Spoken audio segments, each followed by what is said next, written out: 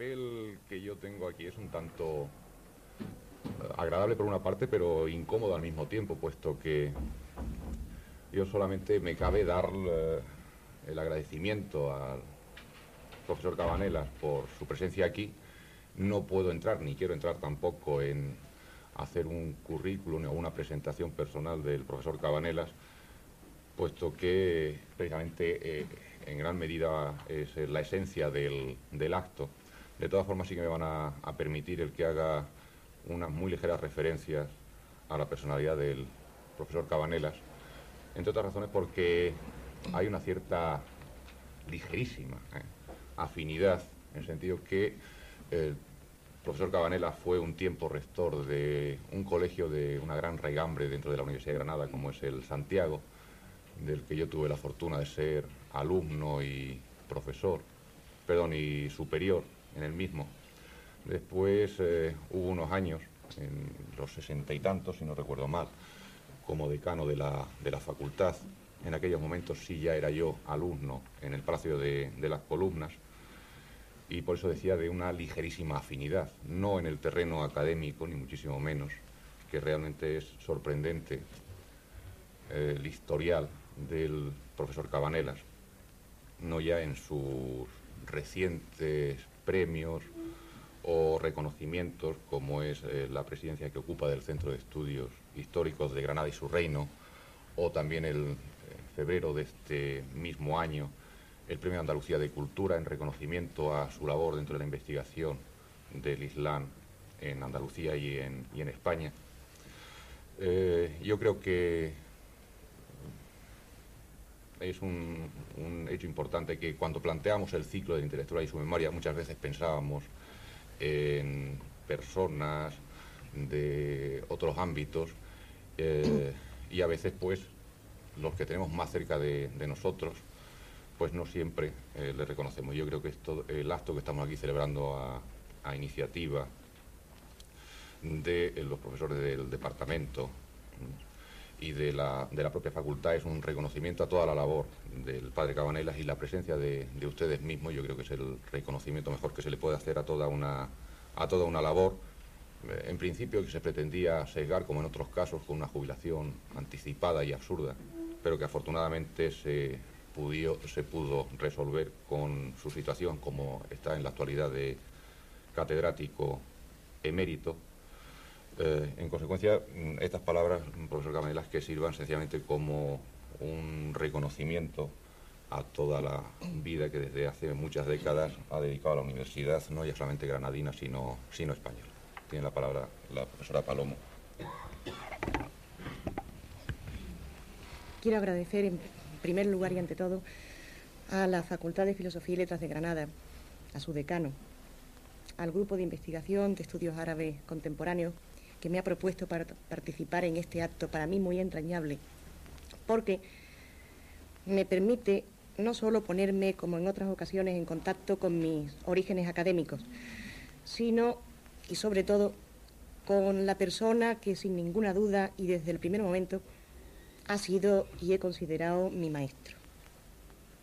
Yo, que soy profesora actualmente en la Facultad de Letras de Málaga, he pasado, sin embargo, en esta facultad granadina nada menos que 17 años de mi vida, 16 de los cuales han transcurrido muy cerca del profesor Cabanelas.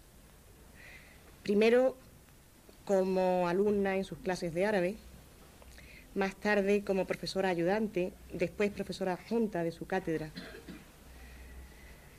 Creo, sinceramente, que deben ser estas razones las que han hecho que hoy me hayan elegido para hacer esta presentación.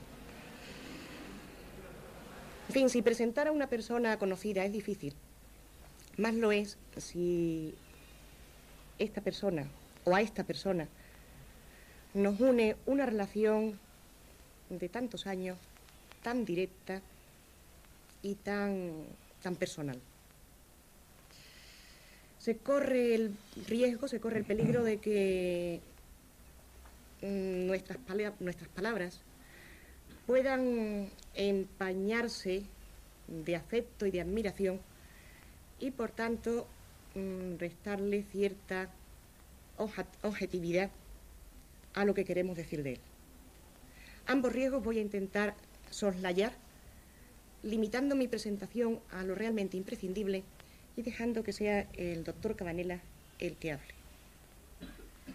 De todas formas, también tendría que reconocer que no podría hablar mucho de él, porque como buen gallego, siempre ha sido muy reacio a contar cosas de sí mismo. Entonces yo creo que en esta ocasión, espero sinceramente, que nos haga una excepción.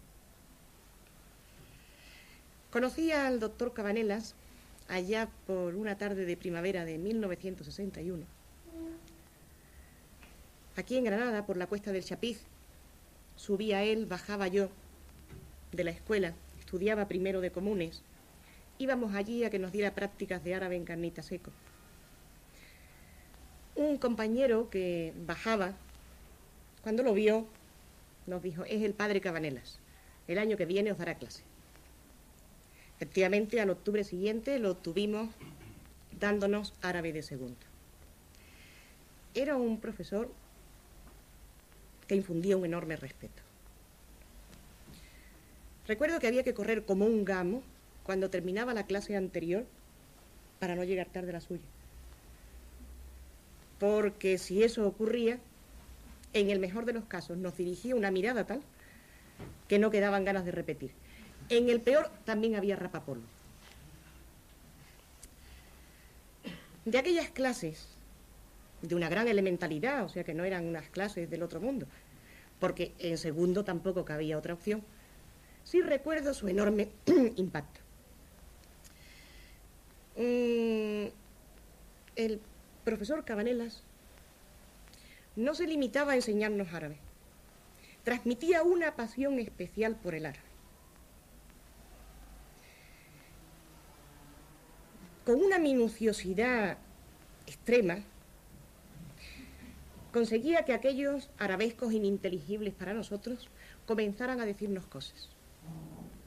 Nos enseñaba a observar, a discurrir, a razonar, a descubrir y a ir avanzando.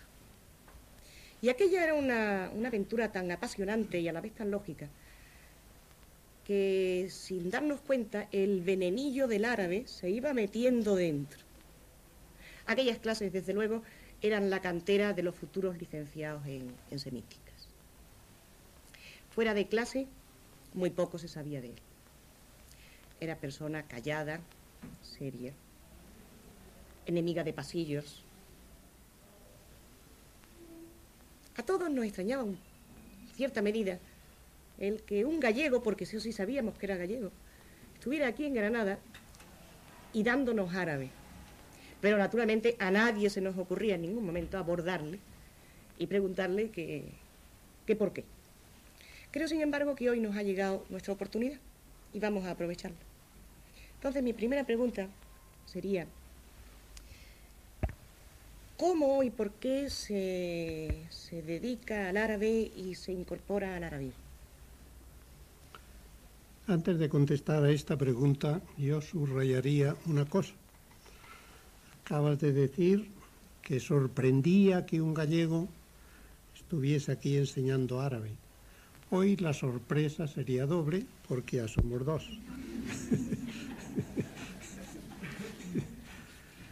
en contestación a la pregunta, naturalmente, como en otros casos similares, mi incorporación al arabismo pues no se ha efectuado mediante un acto concreto y específico, sino que se ha ido realizando de una manera progresiva.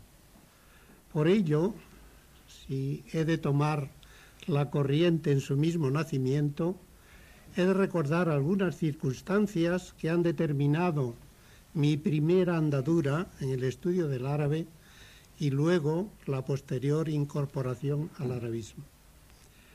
Cuando yo cruzaba la carrera eclesiástica, sobre todo en los últimos cuatro años, consagrados al estudio de la teología y otras materias complementarias, yo tenía mis pequeñas aficiones ya al árabe y al etiópico, del que hoy no, recuerdo prácticamente nada. Pero entonces tenía una gramática de etiópico y otra de árabe, de un antiguo misionero franciscano de Marruecos, el padre Rafael González, publicada en Tánger en 1910, y que aún anda por ahí y tiene algunas cosas todavía aprovechables, aunque naturalmente hoy necesitaría una profunda renovación. Y aparte del griego, del latín y del hebreo, que entonces cruzábamos con bastante intensidad, yo dedicaba algunos ratos a esta afición particular. Cuando concluí la carrera eclesiástica y fui ordenado sacerdote a los 23 años, entonces era costumbre que todos los profesores nuestros, bajo la presidencia del ministro provincial, tuviesen una reunión, que para nosotros naturalmente era una reunión con el sumario de secreto, no sabíamos nada. ¿Para qué esa reunión? Para destinar a cada uno a alguna futura ocupación según sus condiciones y a veces, aunque no siempre, según sus aficiones. Uno de los profesores que había tenido de historia de las religiones y de historia eclesiástica se, a posteriori, porque todo eso era secreto, que me propuso para ir a Madrid como redactor de una revista franciscana que tenemos hace muchísimos años, desde el año 1913 en que se funda la revista Archivo Iberoamericano. Ahora mismo anda por el volumen, parece que 80.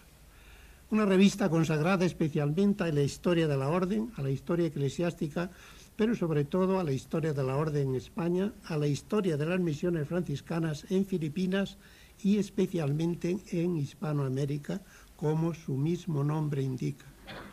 Esa propuesta no prosperó, porque fue superada por otra muy concreta del propio ministro provincial, que había sido mi profesor de filosofía.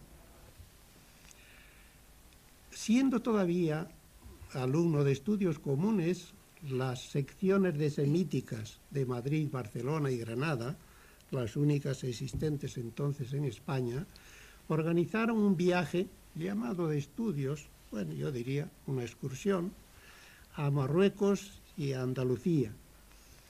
Los de Barcelona, por causas eh, que no voy a enumerar, tuvieron que retrasarse y no se reunieron con nosotros pero los de Madrid y Granada sí fuimos a Marruecos y vinimos a Andalucía. Como entonces en la especialidad de Madrid solo había tres alumnos, eligieron a otros tres de los estudios comunes para dicha excursión. Uno de ellos fui yo.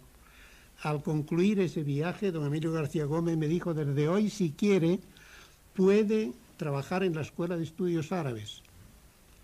Entonces estaba comenzando el Consejo de Investigaciones que se creó después de nuestra guerra civil.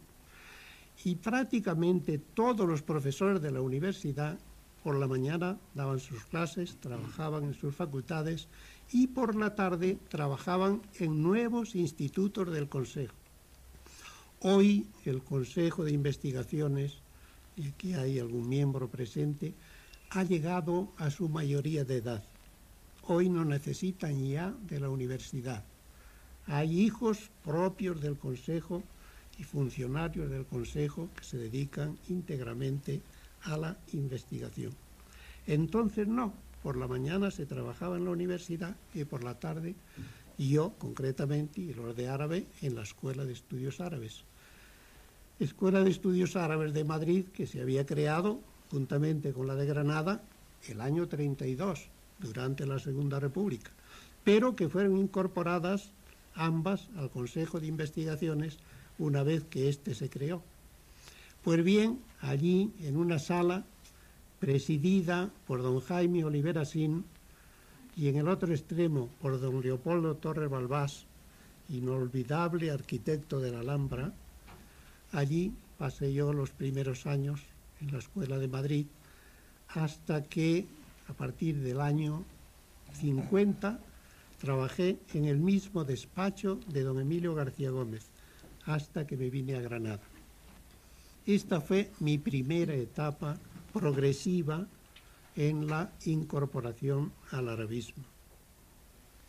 ¿Y cómo viene a Granada? ¿Fue azar? ¿Fue una elección consciente y voluntaria?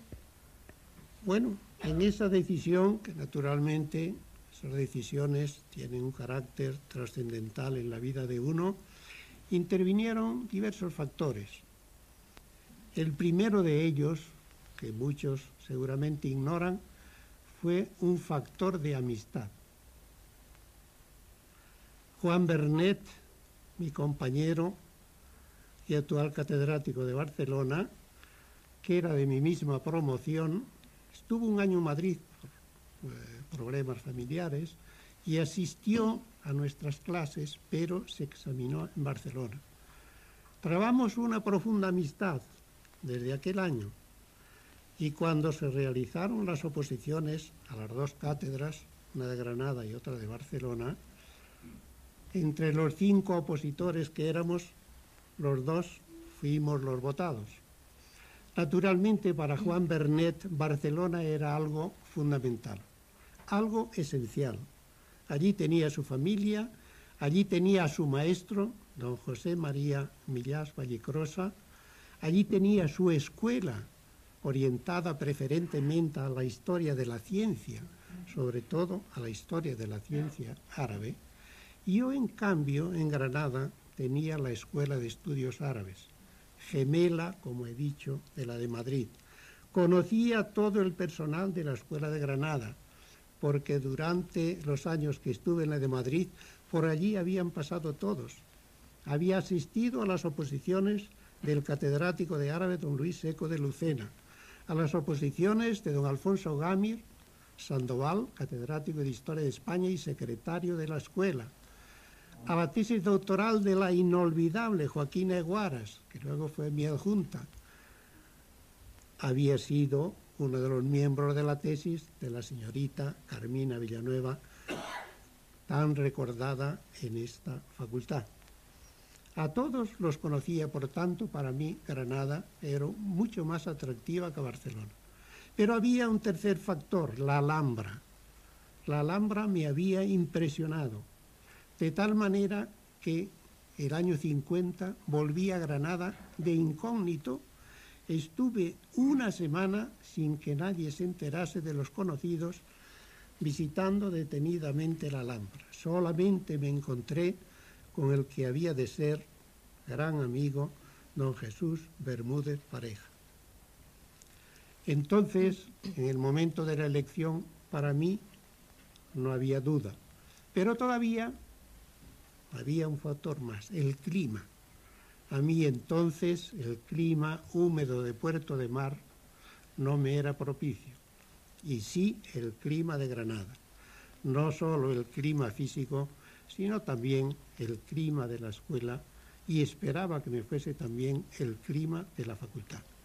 Por eso, por eso elegí Granada. Y ahora descubriré un secreto. Espero que no cause enfado a Juan Bernet. En gratitud me dio un espléndido banquete que no se lo saltaba un galgo.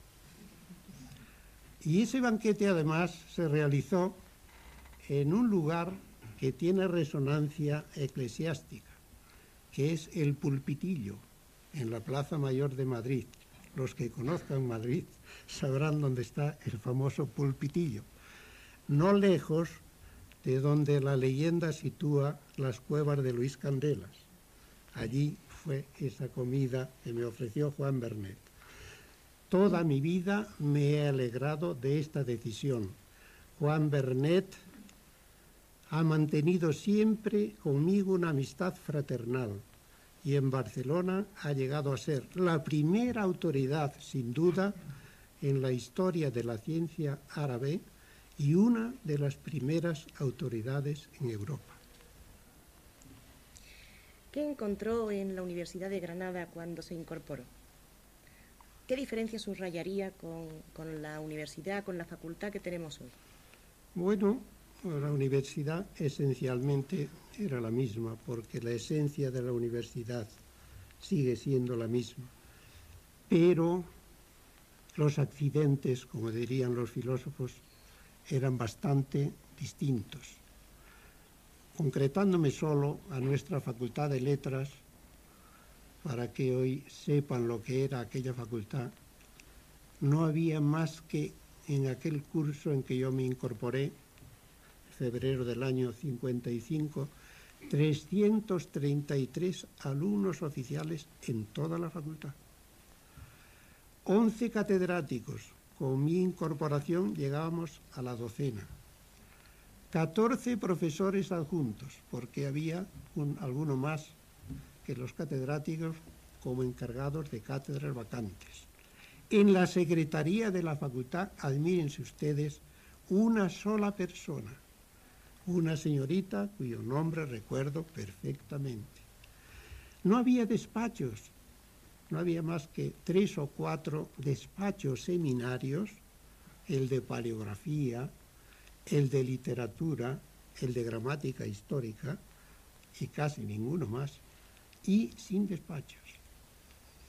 Falta de medios, a pesar de que teníamos para entonces la buena biblioteca de la facultad y para los de árabe, la biblioteca de la Escuela de Estudios Árabes, que era un elemento importante para nosotros sin embargo, se carecía de muchas cosas.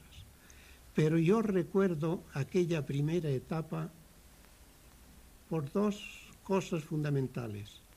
Un estilo universitario para mí inolvidable y una gran calidad humana.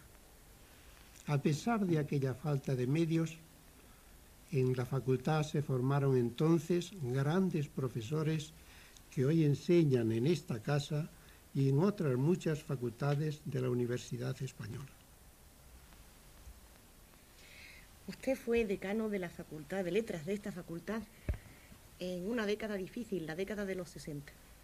Era una década muy politizada, era una década en la que la Iglesia, oficialmente asociada al poder, estaba muy mal vista. Usted era sacerdote, franciscano por más señas, y su hábito lo iba proclamando a voces. Sin embargo, usted nunca fue objeto de rechazo ni de crítica. Usted, yo recuerdo, porque viví esos años, fue una persona muy respetada, muy respetada por todos. Y consiguió no una facultad apolítica, pero sí una facultad pacífica. ¿Cómo lo consiguió? Pacífica hasta cierto punto. bueno, mi etapa de decano tengo que decir antes de esa etapa que hubo un primer intento de que yo fuese decano, un leve intento cuando don Emilio Orozco renunció ya a seguir de decano después de dos trienios que llevaba.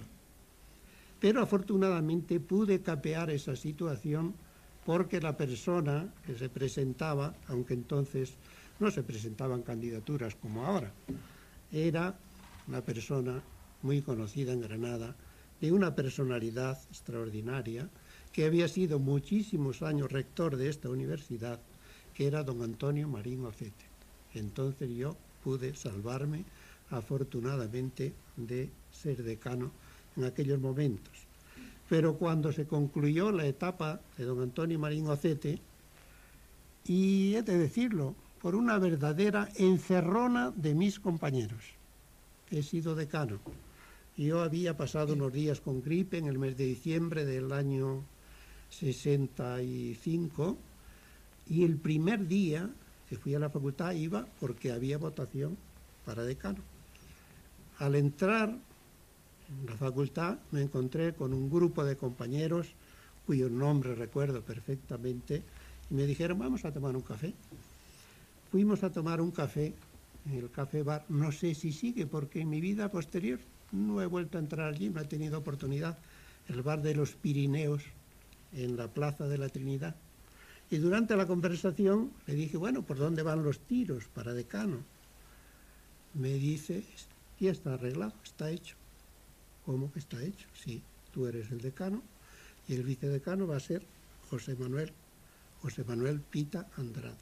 Digo, eso será una broma. No, no, no, es una cosa hecha. Entonces, naturalmente, el consenso era mucho más fácil, porque, como digo, la junta de facultad la formaban solo los catedráticos. Estos, aunque habían crecido un poco en el número ya, porque me parece que éramos 15, sin embargo, era muy fácil ponerse de acuerdo. Efectivamente llegamos a la votación y salí decano, pero yo lo he considerado como una verdadera encerrona. Yo admiro, admiro y alabo al que desee ser decano de su facultad y rector de su universidad. Creo que es una vocación loable y justa, pero yo no la tenía, lo confieso. Entonces acepté simplemente como un servicio y ante la votación de los compañeros. Y recordando también una frase de un profesor mío en la carrera eclesiástica que solía decir, bueno, a veces el ser en la vida tiene sus inconvenientes, hay que enfrentarse a los problemas, hay que resolver dificultades, pero el haber sido no está mal. O sea que el ex, el ex parece que sienta bien, pero el ser a veces no tan bien. De mi etapa de decano tengo un buen recuerdo, es de decirlo, sobre todo, y creo que lo digo por vez primera, por la unión que había entonces entre los profesores. Una gran unión. Naturalmente respetando las ideas de cada uno, pero contribuía a ello el ser pocos en número, como éramos entonces. Y sobre todo el intercambio continuo, porque antes o después de las clases nos veíamos todos los días en el despacho destinado al secretario de la facultad, lo que hoy, naturalmente, por el volumen de esta casa, no puede realizarse, pero entonces sí. He tenido la dicha de concluir unas obras en la facultad que se habían comenzado en tiempo de mi antecesor, para que todos los catedráticos entonces existentes tuviesen al menos un humilde y sencillo despacho que compartían con su adjunto y con sus ayudantes se concluyeron dos aulas grandes de ciento y pico de alumnos que no había en la facultad. Esto supuso naturalmente una obra en el edificio que a mí no me agradaba mucho, pero se ha respetado en lo posible su estructura. En cuanto a la politización de la facultad en aquellos momentos, efectivamente, a medida que los años iban transcurriendo, la gente deseaba cambiar de postura del régimen, es lógico. Pero mi afán ha sido siempre durante aquellos años conservar, en la medida de lo posible, la normalidad académica, porque creía que era lo mejor para los alumnos, que en definitiva son siempre los que pagan el plato, como suele decirse. Entonces, en aquellos tres años creo que he dialogado más que en toda mi vida. Pero los alumnos, los que diríamos los jefes de grupo de entonces de la lucha, en el lenguaje oficial la subversión, que se llamaba, tenían una buena cualidad, que informaban al decano anticipadamente de cuándo proyectaban la huelga. No sé si ahora lo siguen haciendo. Y entonces pues yo procuraba dialogar mucho con ellos pero sobre todo que no se quedase sola la Facultad de Letras en la huelga. Los jóvenes no lo recuerdan, la Facultad de Letras ha sido siempre pionera en aquello que se llamaba la subversión, tal vez por la naturaleza de los estudios que en ella se cursan. Naturalmente en Granada, no digamos, la Facultad de Letras era constante punto de mira de las demás facultades. Si había una huelga, la Facultad de Letras seguramente. En aquellos momentos, la Junta de Gobierno, que no la constituía más que el rector, el secretario general y los decanos, nos reuníamos prácticamente todos los días, no de una manera oficial, a las últimas horas de la mañana, para cambiar impresiones, ver si iba a haber huelga, no iba a haber huelga. Pues alguna de esas huelgas que me comunicaron falló porque mi información fue más rápida y más eficaz que la de los alumnos. En la facultad no había más que dos teléfonos entonces, admírense ustedes, en el decanato y en la secretaría. Los alumnos, para conectarse con otras facultades y universidades, tenían que salir a la calle. ir a un bar y llamar por teléfono. Entonces me anunciaron que iba a haber una huelga general en toda España. Mis informaciones eran contrarias. Y bueno, vamos a ver si es general, porque si se quedaba una facultad sola, era peligrosísimo y era muy probable que le aplicasen sanciones del Ministerio. Si eran todas, el Ministerio se lo pensaba más. Y entonces me informé y fueron fallando en todas las universidades, empezando por Valencia, que es la que ellos me proponían como jefa en aquella huelga, la de Valladolid, Salamanca, etcétera. A las 11 de la mañana volvieron, le dije, mis informes son que no hay huelga general. Y lo confesaron, efectivamente hemos fracasado, queda desconvocada la huelga. Con lo cual, naturalmente, eh, a la Junta de Gobierno que fui inmediatamente, toda la facultad se alegró. Pocos días antes de renunciar al decanato me propusieron, por estos días del mes de abril, a final del mes de abril, que había un proyecto de realizar una marcha de todas las universidades españolas sobre Madrid. Yo les dije, ya estamos a final de curso, lo mejor es que ustedes se examinen, aprueben el curso y después, en la segunda quincena de julio, organizan ustedes esa especie de cruzada hasta Madrid y si pueden ustedes llegar hasta el Pardo. Se echaron a reír y dijeron, sí, usted sabe muy bien que en el mes de julio no nos podemos conectar unos con otros. En fin, el motivo a que se debió el fracaso no lo sé, pero no se llevó a cabo la marcha sobre Madrid. De manera que recordemos, en aquellos días era el mayo francés.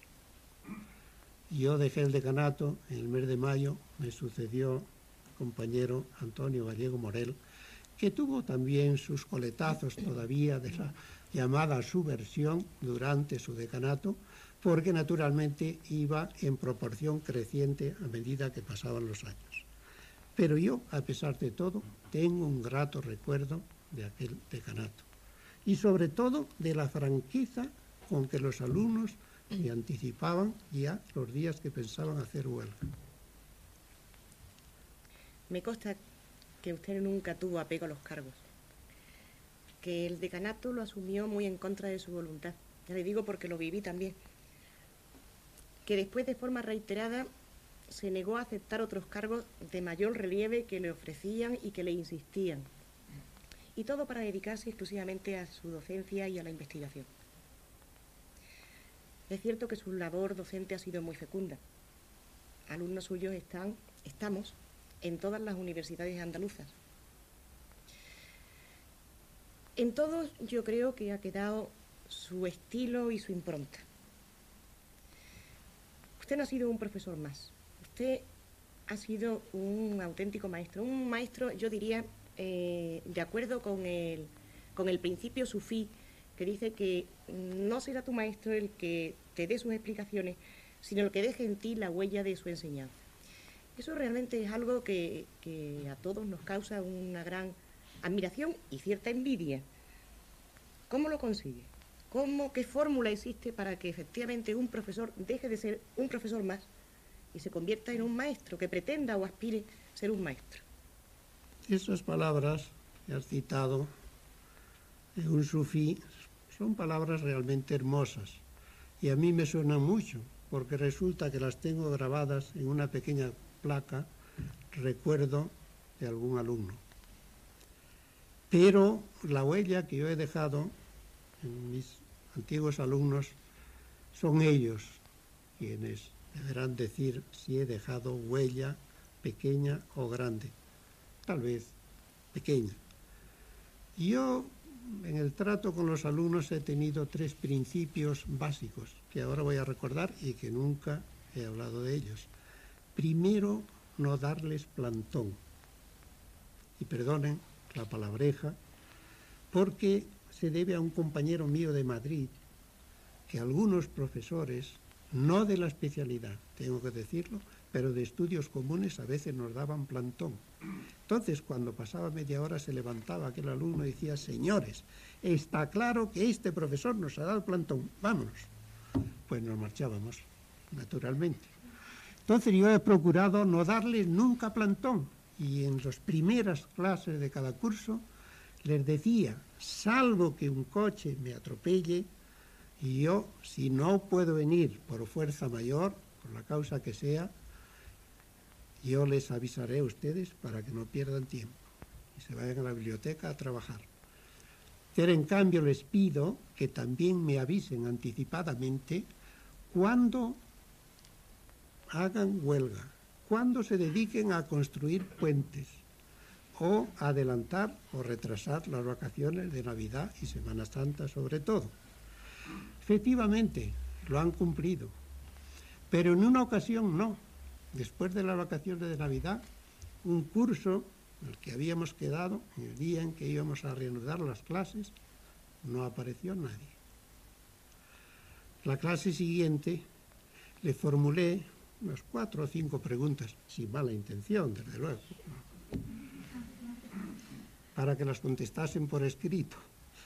Y recuerdo, en algún rostro femenino se deslizó alguna lagrimita. y yo creo que no eran, la lagrimita no pertenecía a alumnos de los que menos sabían, sino de los que más sabían. Y su amor propio no les permitía el pasar por unas contestaciones eh, peores de las que ellos en otro momento podrían dar.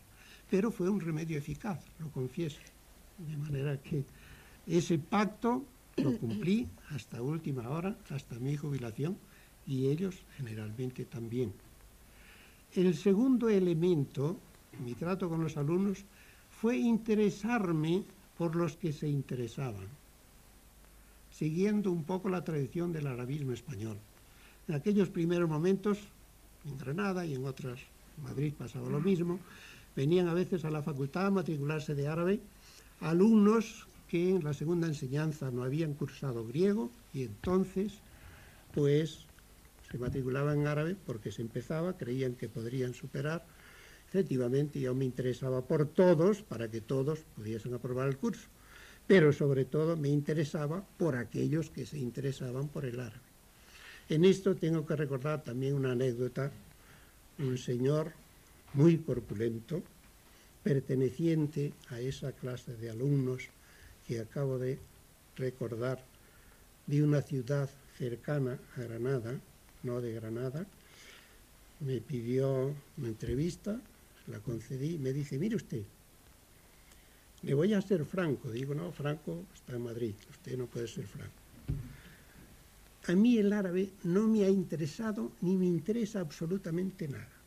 Digo, de acuerdo, digo, es lo primero que digo yo en los cursos, el árabe en absoluto hace falta para salvarse, solo para aprobar el curso. De manera que, usted tenga en cuenta que las únicas opcionales que hay hasta ahora en la facultad son árabe y griego. Si usted no ha elegido árabe, no, porque el árabe yo no, porque digo el, el, griego, porque yo no sé griego, entonces, bueno, pues entonces tiene usted que estudiar el árabe, porque si no, es una discriminación, usted lleva en su expediente una asignatura menos que los demás compañeros, y usted va a concurrir a becas, etcétera, y entonces eso no es justo. Bueno, no sé si por grado, por fuerza o por convicción, no lo sé, se echó un profesor durante el verano y en el mes de septiembre pues aprobó su examen de árabe. El tercer factor en mi trato con los alumnos fue el intentar siempre ser justo en mis calificaciones. No sé si lo he logrado.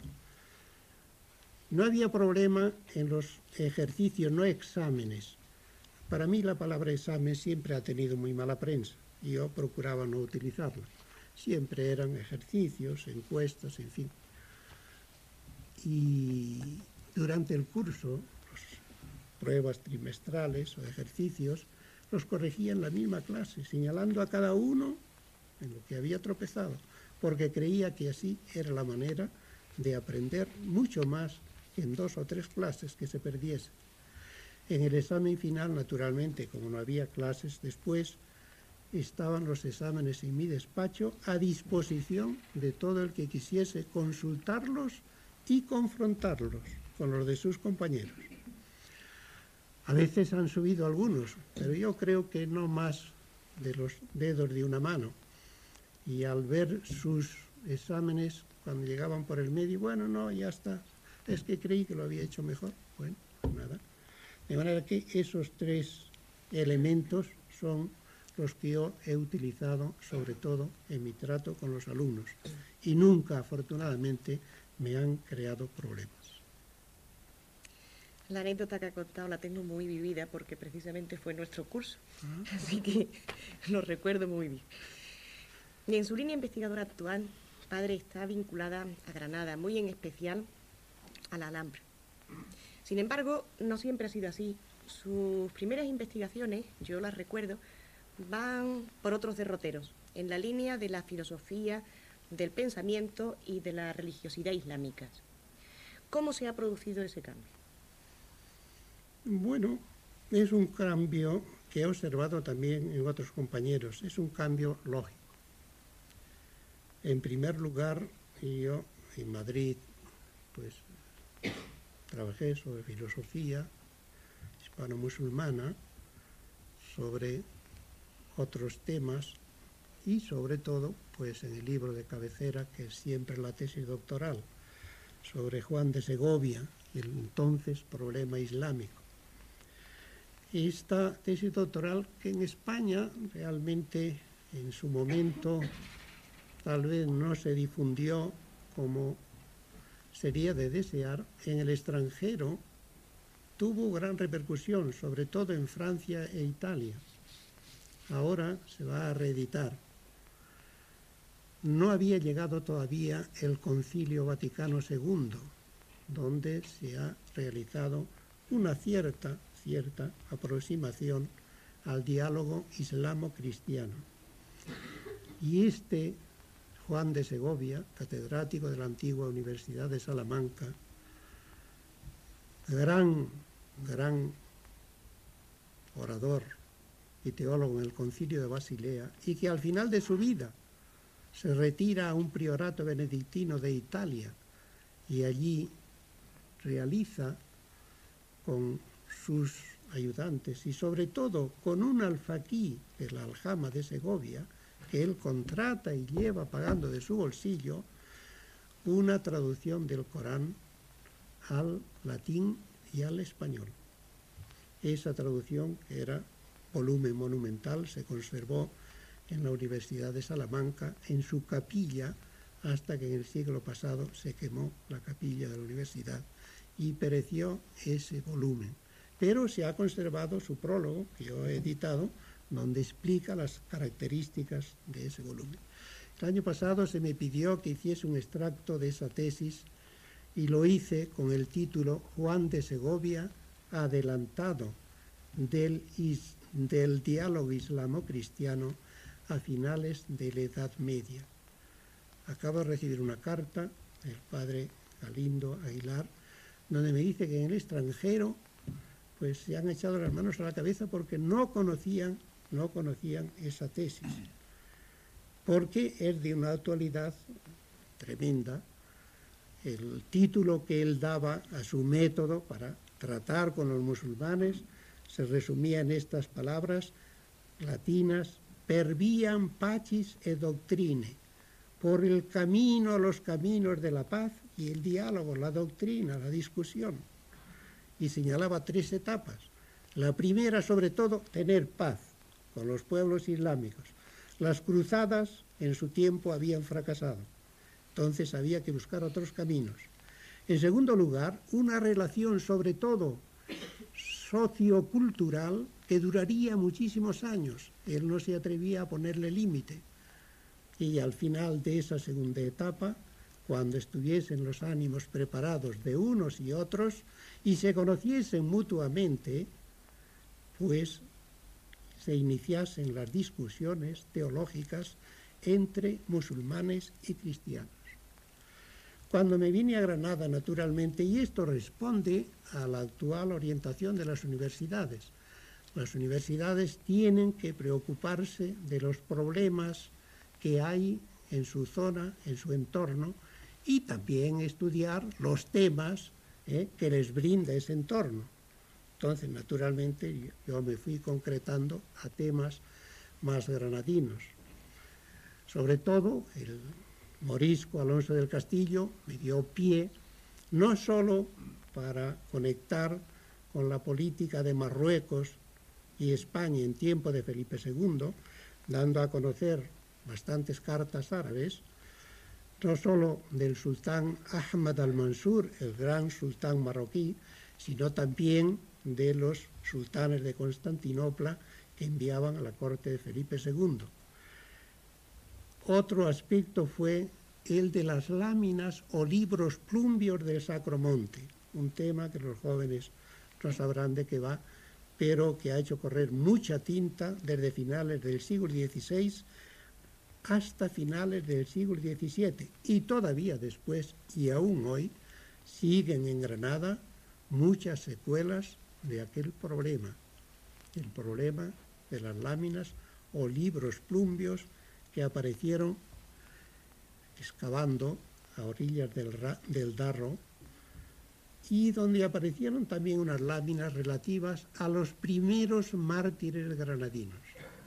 Todo eso, y que me perdonen los eclesiásticos, lo saben muy bien, eso está todo en el aire, porque las reliquias martiriales se basaban en los libros plumbios. Los libros plumbios fueron obra de un grupo selecto de moriscos granadinos, y entonces todo eso está edificado sobre arena movediza, pero a eso se debió la fundación de la abadía del Sacro Monte. Naturalmente, he escrito varios artículos sobre eso y luego ha continuado mi discípulo, el profesor Haggerty, con su memoria de licenciatura y su tesis doctoral sobre este tema. Después, naturalmente, me he ido centrando más en la Alhambra.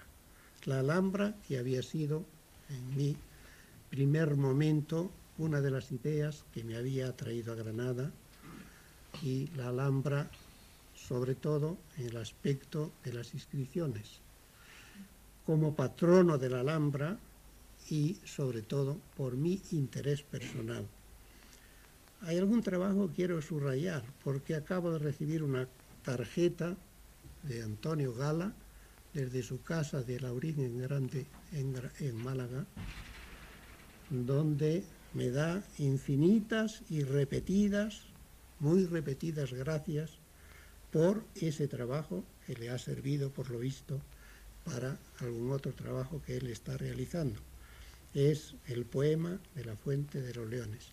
Y más que el poema, es el mecanismo que tuvo esa fuente en época musulmana y que los cristianos desbarataron, porque les pareció una fuente muy baja. Se montaron encima de esa fuente otra y encima de esa segunda un surtidor que ha empezado a salpicar el agua, estropeando no solo las caras y el cuerpo de los leones, sino también el poema de doce versos que está grabado en la fuente. Y últimamente, aparte de otros trabajos sobre inscripciones del Generalife, de la fachada de Comares, del Partal, pues el último libro sobre el techo de Comares. Ha sido una gran ilusión mía desde el año 59 en que apareció en una tablilla del techo una breve inscripción que da un poco la receta para restituir la policromía de ese techo, que no es más que la reproducción plástica de un capítulo del Corán, la Sura 67, que trata de los siete cielos islámicos superpuestos.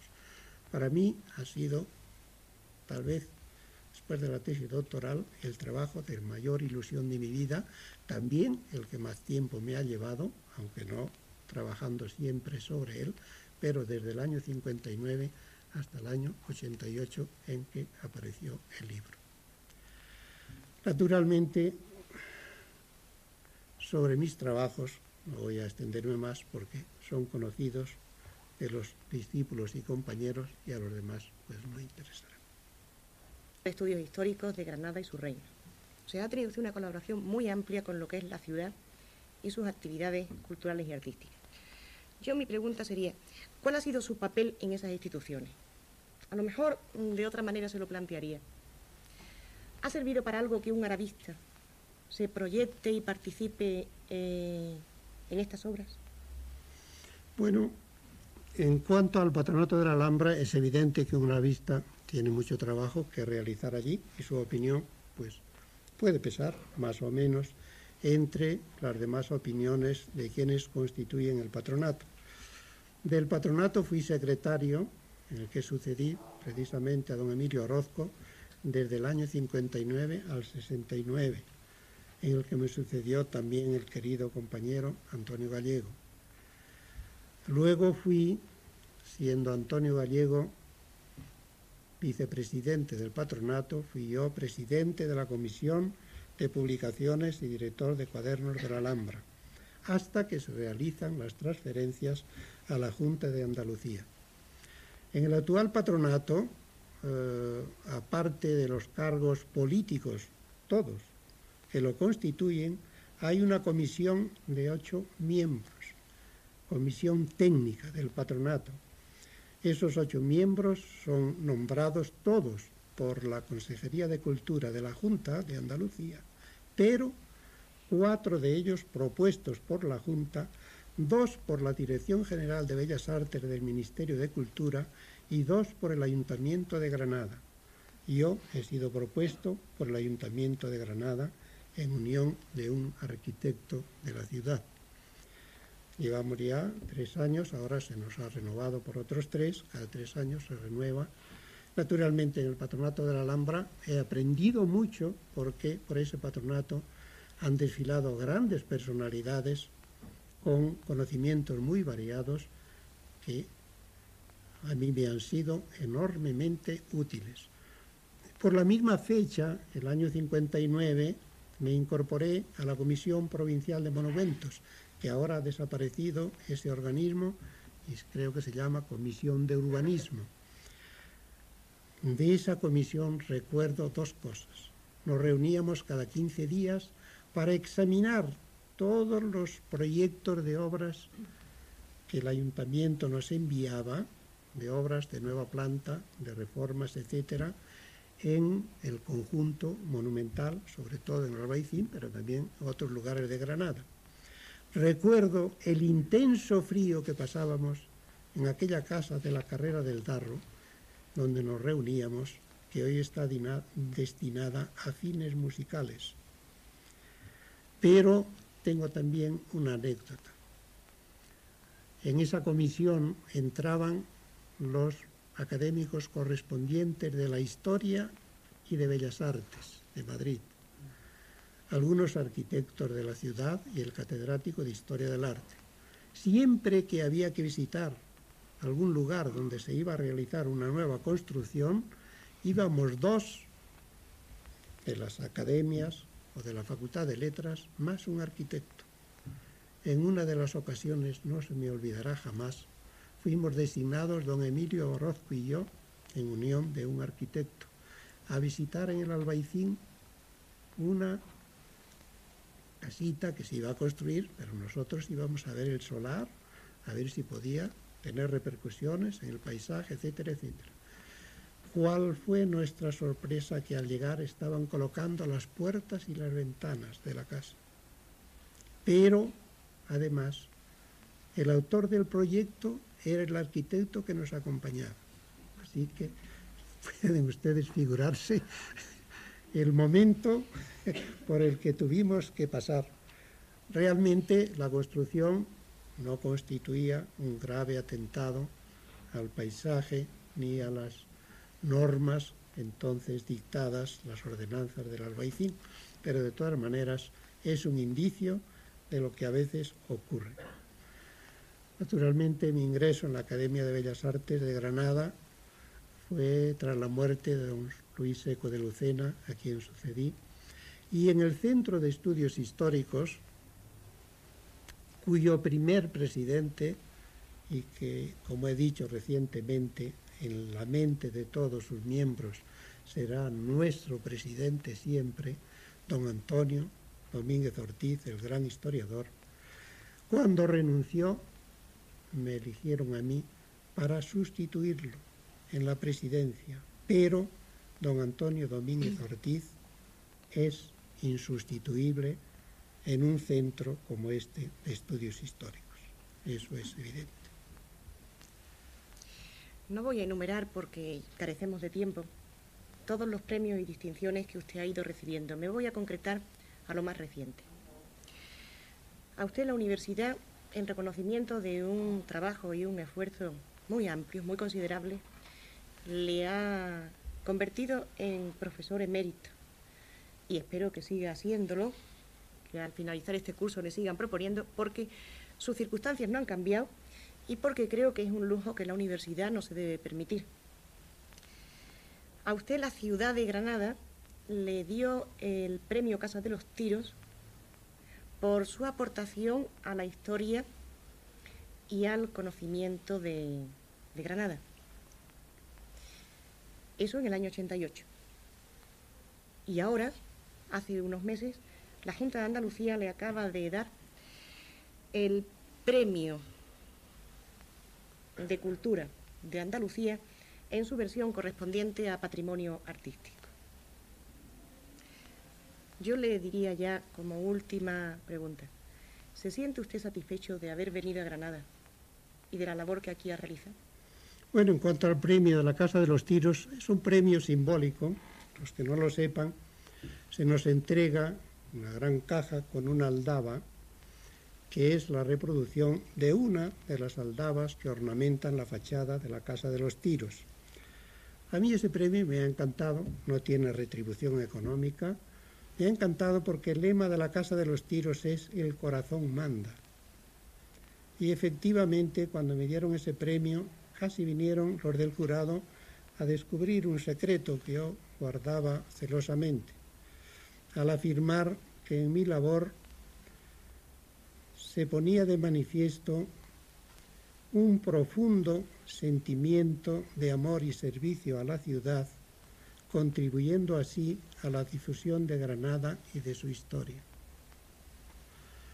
Yo, naturalmente, dije, cuando se me entregó el premio, que la aldaba era todo un símbolo. Si alguna vez me olvidaba de trabajar con amor y cariño por Granada, que esa aldaba me golpease, tal como se dice también en una inscripción de la Casa de los Tiros, aldabadas son que las da Dios y las siente el corazón.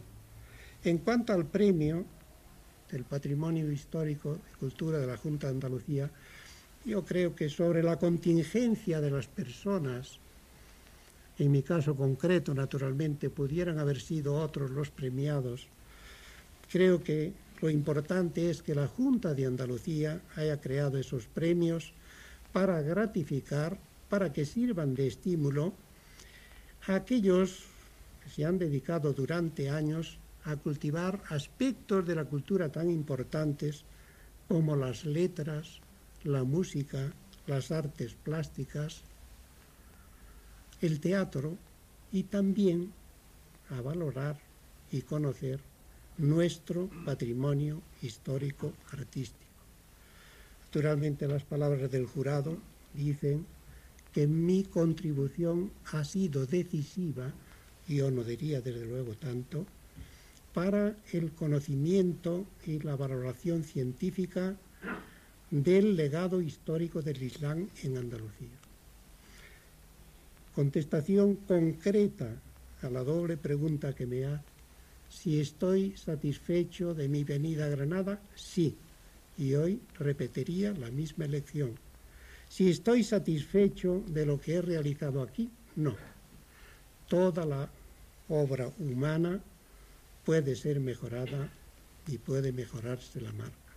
Razón de más para que hoy dé las gracias al grupo organizador de este acto, a la facultad representada aquí por nuestro querido decano, a todos los asistentes, sobre todo aquellos que han tenido que desplazarse de otras ciudades. Para todos, mi gratitud. Muchas gracias. Gracias a usted.